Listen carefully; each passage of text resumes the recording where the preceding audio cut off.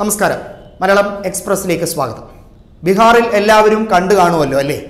അതായത് J D U എന്ന ഒരു പ്രസ്ഥാനം ബി ജെ പി എങ്ങനെയാണ് എൻഗൾഫ് ചെയ്യാൻ ശ്രമിക്കുന്നത് വിഴുങ്ങാൻ ശ്രമിക്കുന്നത് എന്നുള്ളതിന്റെ ഏറ്റവും ഒടുവിലത്തെ അവസ്ഥയാണ്. നിതീഷ് കുമാർ സഹികെട്ട് മന്ത്രിസഭ അല്ലെങ്കിൽ J D U B J P മന്ത്രിസഭ അത് എല്ലാ രീതിയിലും പൊളിച്ചെടുക്കാൻ പോവുകയാണ്. മന്ത്രിസഭ കാലാവധി തീരും മുമ്പേ തന്നെ അത് പിളർപ്പിലേക്ക് നീങ്ങുന്നു എന്നുള്ളത് വ്യക്തമായി കഴിഞ്ഞിരിക്കുകയാണ്. ഇവിടെ രണ്ട് വിഷയങ്ങളുണ്ട്. ഒന്ന് ബി ജെ പിക്ക് ഇഷ്ടമല്ലാത്ത രീതികൾ ബി ജെ പിയുടെ അജണ്ടയ്ക്ക് വിരുദ്ധമായ രീതികൾ. ഏതെങ്കിലും സഖ്യകക്ഷി എടുക്കുകയാണെങ്കിൽ ബി ജെ പി അത് ടോളറേറ്റ് ചെയ്യാറില്ല.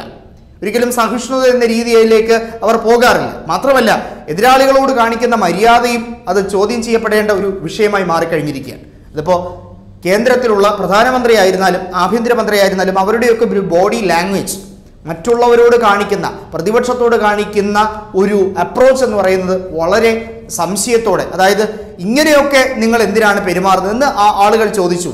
കാരണം ജനങ്ങളുടെ ഉള്ളിൽ ഒരു ചിന്തയുണ്ട്. കാരണം ഇന്ന് ബി ജെ പി ആയിരിക്കുന്ന പലരും പഴയ പഴയ കോൺഗ്രസ്സുകാരായിരുന്നു എന്നുള്ളതും കൂടി ഓർക്കേണ്ടതായിട്ടുണ്ട്. പക്ഷേ എന്തൊക്കെ പറഞ്ഞാലും ബി ജെ പി വലിയ രീതിയിൽ പിടിമുറുക്കുന്ന ഒരു സാഹചര്യത്തിൽ ബീഹാർ പോലൊരു ഉത്തരേന്ത്യൻ സംസ്ഥാനത്ത് ഇങ്ങനെ ബി ജെ പിക്ക് തിരിച്ചടി കിട്ടുമെന്ന് ആരും വിചാരിച്ചില്ല. തർക്കിഷോർ പ്രസാദാണ് അവിടെ ഉപമുഖ്യമന്ത്രി. രേണു ദേവിയും അവിടെ ഉപമുഖ്യമന്ത്രിയാണ്. രണ്ട് ഉപമുഖ്യമന്ത്രിമാരുണ്ട്. ബി ജെ പിക്ക് പ്രധാനപ്പെട്ട വകുപ്പുകൾ അവരുടെ കയ്യിലിരിക്കുകയാണ്. ശരിക്കും പറഞ്ഞാൽ ജെ ഡി യു അവിടെ ഒരു പാവഭരണം കാഴ്ചവെച്ചുകൊണ്ടിരിക്കുകയാണ്. ജെ ഡി യുവിന് അംഗബലം കുറവാണ്. ബി ജെ പിയുടെ പകുതി മാത്രമേ ഉള്ളൂ. ബി ജെ പിക്ക് എഴുപത്തി ആറ് നിയമസഭാ സീറ്റുണ്ട്. പക്ഷേ ആർ ജെ ഡിക്കാണ് ഏറ്റവും വലിയ ഒറ്റകക്ഷി പദവി. എൺപത് നിയമസഭാ സീറ്റുകളുണ്ട്.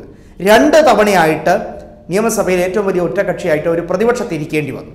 ഒന്ന് ആലോചിക്കണം. ജനതാ പാർട്ടി രണ്ട് ചേരിയായി തിരിയുന്നു. ജെ ഡി യു അതോടൊപ്പം തന്നെ R J D. R J D നിരവധി തവണയായി ഭരിച്ചിട്ടുണ്ട്. കാലിത്തീറ്റ കുംഭകോണ കേസുമായി ബന്ധപ്പെട്ടാണ് ലാലു പ്രസാദ് ജയിൽവാസം അനുഷ്ഠിക്കുന്നത്. അതിലെ ഖജനാവിലെ തിരിമറിയുമായി ബന്ധപ്പെട്ട്. പക്ഷേ എന്തൊക്കെ പറഞ്ഞാലും അദ്ദേഹത്തിന്റെ പാർട്ടിക്ക് അവിടെ ഉണ്ടാകുന്ന മതിപ്പ് എന്ന് പറയുന്ന വളരെ ശക്തമാണ്. അദ്ദേഹത്തിന്റെ പാർട്ടിയുമായി വളരെ അടുപ്പവും ബന്ധുത്വം കാത്തു സൂക്ഷിക്കുന്ന ഒരു പാർട്ടി എന്ന രീതിയിൽ ജംഗിൾ രാജ് എന്ന പരസ്യമായി പ്രസ്താവന ബി ജെ പി നടത്തവേ ഈ പറയുന്ന മുലായം സിംഗ് യാദവിന്റെ മകൻ അഖിലേഷ് യാദവ് സമാജ്വാദി പാർട്ടി അത്യാവശ്യം നന്നായി തന്നെ കൊണ്ടുപോകുന്നുമുണ്ട്. ഇവിടെ ഉണ്ടാകുന്ന സംഭവം ഇടതുപക്ഷ പാർട്ടികൾ ഈ ഉത്തരേന്ത്യയിൽ ഒന്നും തന്നെ ബംഗാളിൽ അല്ലാതെ മറ്റൊരിടത്തും തന്നെ അതിസജീവമായിട്ടുണ്ടായിരുന്നില്ല. മുൻപൊങ്ങും മുൻപൊങ്ങും കാണാത്ത വിധത്തിലുള്ള സജീവമായിട്ടുള്ള രാഷ്ട്രീയ സ്പേസ് ഇടതുപക്ഷ പാർട്ടികൾക്ക് ഉണ്ടാകുന്നു പ്രത്യേകിച്ചും ബീഹാറിൽ. ബീഹാറിലെ പത്തൊമ്പത് ഇടതുപക്ഷ എം എൽ എമാർ എന്ന് പറയുന്നത് ചെറിയൊരു കാര്യമല്ല. ആർ ജെ ഡിയെ സംബന്ധിച്ചിടത്തോളം വളരെ വാല്യുബിൾ ആയിട്ടുള്ള ഒരു അസറ്റാണ് അവർക്ക് ഏറ്റവും കൂടുതൽ ശക്തിയും ഊർജവുമാണ് ഈ പത്തൊമ്പത് പേർ. ഒരുപക്ഷെ കോൺഗ്രസിന് എഴുപത് സീറ്റ് കൊടുക്കുന്നതിന് പകരം അതിൽ പത്തോ ഇരുപതോ സീറ്റ് കൂടി ഇടതുപക്ഷ പ്രസ്ഥാനങ്ങൾക്ക് സി പി ഐ എം എല്ലിന് കൊടുത്തിരുന്നെങ്കിൽ അല്ലെങ്കിൽ സി പി ഐക്ക് കൊടുത്തിരുന്നെങ്കിൽ ഒരുപക്ഷെ അതിലെ വിജയ സാധ്യത കൂടുതലായിരുന്നു എന്നാണ് പ്രതീക്ഷിക്കുന്നത്. ഇരുപത്തൊമ്പത് സീറ്റോളമാണ് ഇടതുപക്ഷത്തിന് വേണ്ടി ആർ ജെ ഡി നീക്കിവെച്ചത്. മനസ്സില്ലാ മനസ്സോടെയാണ് നീക്കിവെച്ചത്. അത് വാസ്തവത്തിൽ അവർ തന്നെ പറഞ്ഞിട്ടുണ്ട്. പക്ഷേ അത് കഴിഞ്ഞതിന് ശേഷം തെരഞ്ഞെടുപ്പ് വോട്ടെണ്ണി കഴിഞ്ഞതിന് ശേഷം പത്തൊമ്പത് സീറ്റ് ജയിക്കുമെന്ന് ആർ ജെ ഡി എന്നല്ല ഇടതുപക്ഷം പോലും സ്വപ്നത്തിൽ പ്രതീക്ഷിക്കാത്ത ഒരു കാര്യമാണ്. അതായത് ജനങ്ങൾക്കുള്ളിലേക്ക് ഒരു വലിയ തോന്നൽ ജനങ്ങളുടെ ഉള്ളിൽ ഒരു വലിയ രീതിയിലുള്ള ഒരു പ്രൊട്ടസ്റ്റ് വന്നിരിക്കുകയാണ്.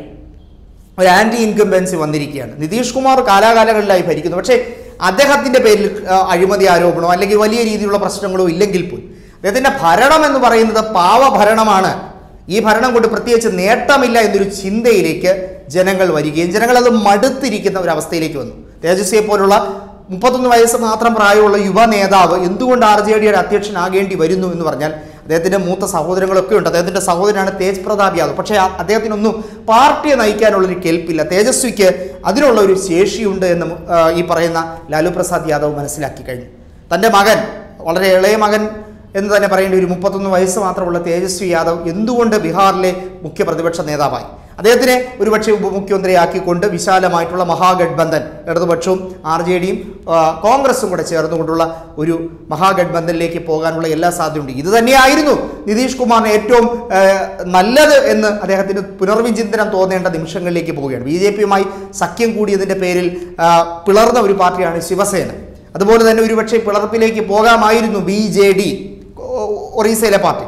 പലയിടത്തും ബി ജെ പി ശക്തമായി ചെയ്യുന്ന എതിരാളികളെ അല്ലെങ്കിൽ കൂടെ നിൽക്കുന്ന സഖ്യകക്ഷികളെ പിളർക്കുക കുറേ പേരെ ബി ജെ പിയിലേക്ക് കൊണ്ടുവരിക. ഇത് ശരിയായൊരു നടപടിയാണ്. ജെ ഡി യുവിലെ പല എം എൽ എമാരും ഇപ്പോൾ ശരിക്കും പറഞ്ഞ അസ്വസ്ഥരാണ്. കാരണം ഈ ഭരണവുമായി മുന്നോട്ട് കൊണ്ടുപോവുകയാണെങ്കിൽ നിതീഷ് കുമാറിന്റെ ഐഡന്റിറ്റി തന്നെ വ്യക്തിത്വം തന്നെ ഇല്ലാതാകുന്നു എന്നൊരു ചിന്ത എന്നൊരു മനോഭാവം വന്നതിന് ശേഷമാണ് ഇത്തരമൊരു സമീപനമെടുക്കാൻ തുടങ്ങിയത്. ഏതായാലും ആർ ജെ ഡി പുതിയൊരു മന്ത്രിസഭയ്ക്ക് വേണ്ടി ഒരു കിങ് മേക്കർഷിപ്പിലേക്ക് കാര്യങ്ങൾ നീക്കുന്നു എന്നുള്ളതാണ് എടുത്തു പറയേണ്ട വിഷയം.